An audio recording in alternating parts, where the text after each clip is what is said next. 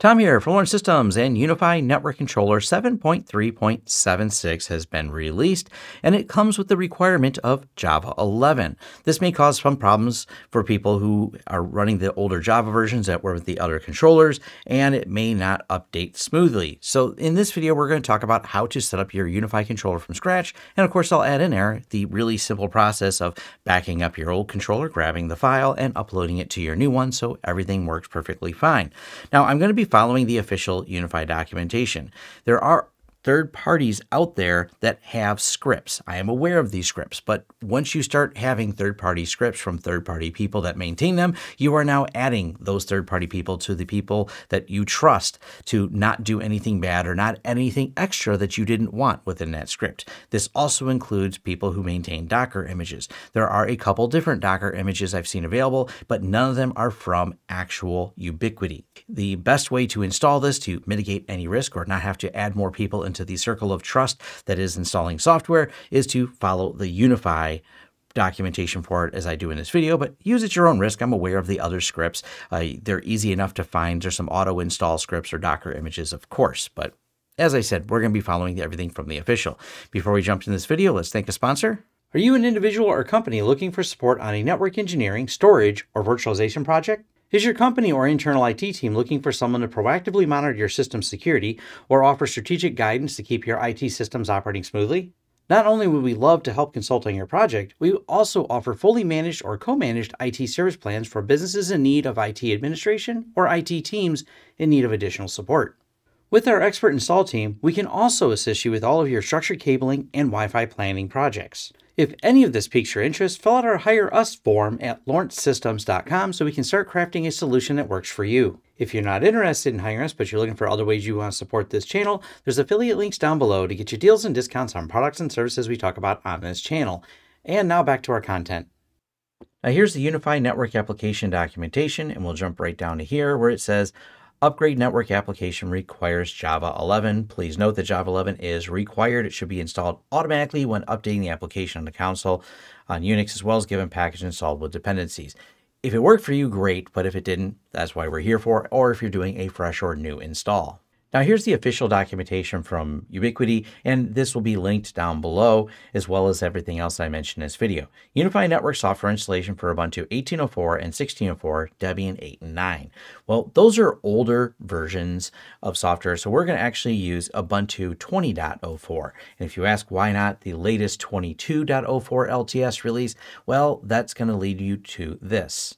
It's not that you can't use it. In this long thread over at Mongo, which I'll leave a link to in case you want to do this, it explains the extra steps you need to take and about some debate about the official support MongoDB on the latest version of Ubuntu or Debian.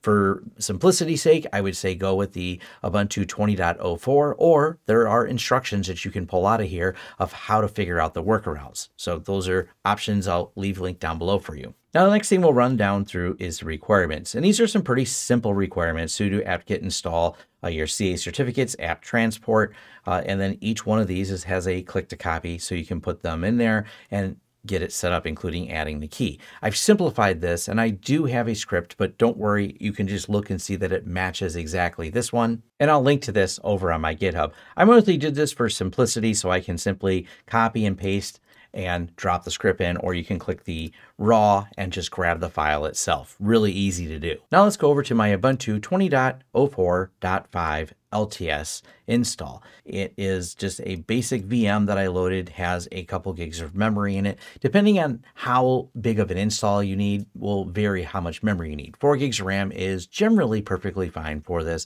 The controller, especially on small installs, will actually work quite well with less. But for larger installs, you want to have a little bit of extra headroom.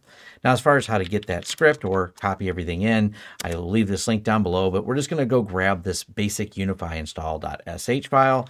We're going to chmod plus x, the basic UniFi install. And let's quickly look at it though before we run it. You should always look at scripts you grab from the internet before you run them. And all this is is copying and pasting from the UniFi documentation. So first we're going to install the base needs and Java 11. So that's this line right here. The next one is add Ubiquiti and Mongo to your sources. So you're going to add the UI stable to the sources list, and then we're going to add the repos for MongoDB to the sources list. Then we're going to add trust for both of those. So we're going to trust the MongoDB and trust the UniFi. And then we're going to add this right here, which is just hold at Java 11. That's important, not necessary for this time when we do the install, but in the future, if anything changes, you want to make sure there's a hold so it does not get out of spec for what the UniFi expects and is supported right now. So that's why the hold is in there. And then finally, sudo apt-get update, and then you want to update install the UniFi controller. So pretty simple here. So go ahead and back out of this and we'll just run it really quick and show you what happens. Go ahead and update the services. Does it want to update this? Yes.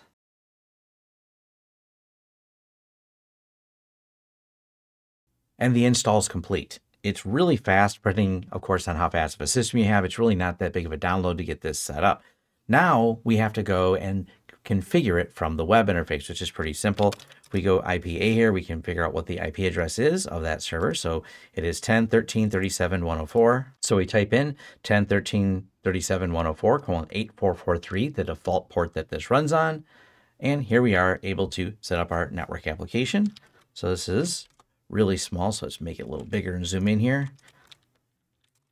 YouTube demo or restore from backup. Now the restore from backup let's cover really quick because it's really simple. And for that, we're going to jump over to one of my working controllers here. We're going to go to settings. We're going to go to system.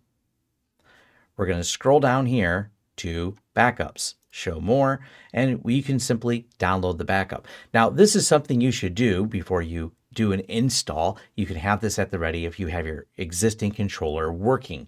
And for me, because I just replaced our controller, the server itself, with exactly the process you just seen, I went and downloaded this, shut that controller down, and put the other one in its place and restored the backup. By selecting this, we are going to agree to the agreement and click next because I'm just going to go ahead and do a fresh install. And actually, let's give it its original name, YouTube demo. Then we're going to go next. Username.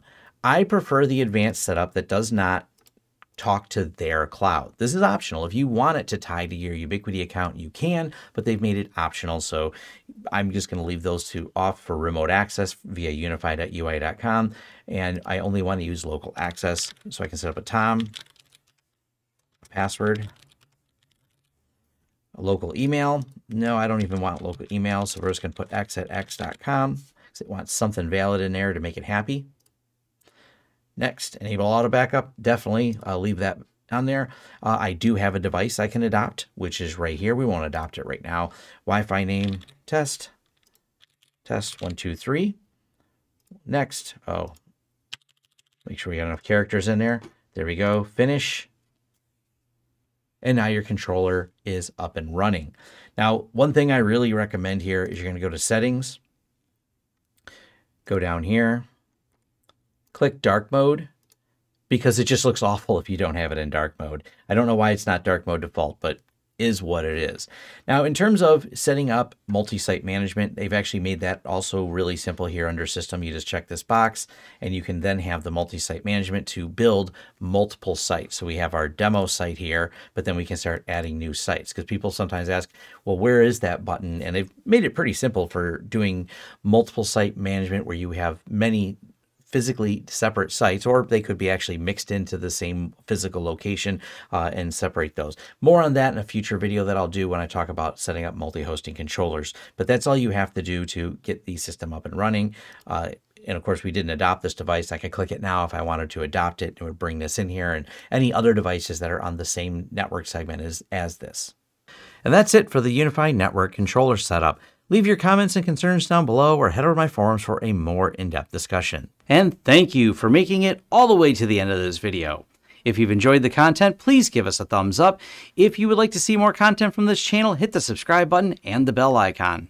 If you'd like to hire us for a project, head over to lawrencesystems.com and click the Hire Us button right at the top. To help this channel out in other ways, there's a join button here for YouTube and a Patreon page where your support is greatly appreciated. For deals, discounts, and offers, check out our affiliate links in the description of all of our videos, including a link to our shirt store where we have a wide variety of shirts that we sell and designs come out, well, randomly, so check back frequently. And finally, our forums. Forums.lawrencesystems.com is where you can have a more in depth discussion about this video and other tech topics covered on this channel.